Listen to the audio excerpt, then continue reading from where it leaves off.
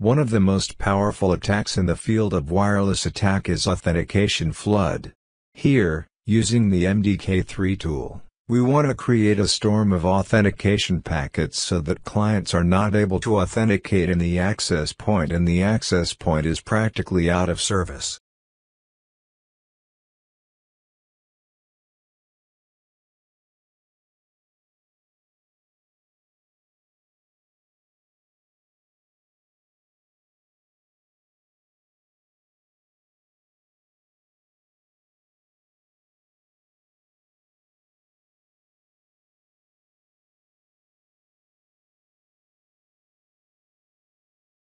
To get started, enter the MDK3 command in the Kali Linux console to display the available options.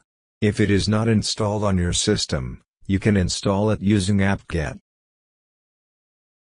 There are several options and modes that it makes no sense to explain each one and memorize them. You can refer to the help option when using any of them. We cover important issues here.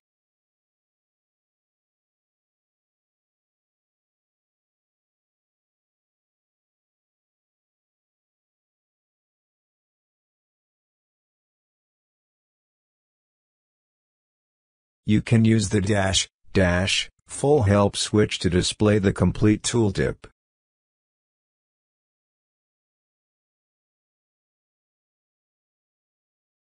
Since our first attack is authentication, we refer to the authentication DOS mode section in the help section.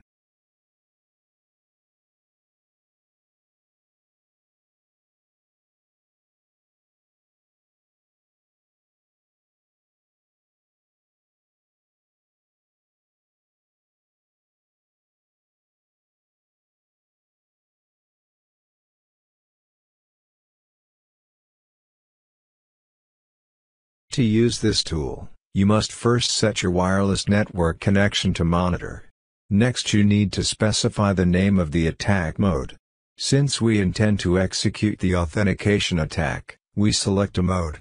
Then, we have to specify the target access point option and enter its MAC address.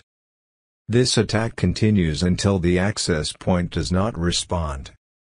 It displays packets being exchanged if you run AirDump-ng during an attack.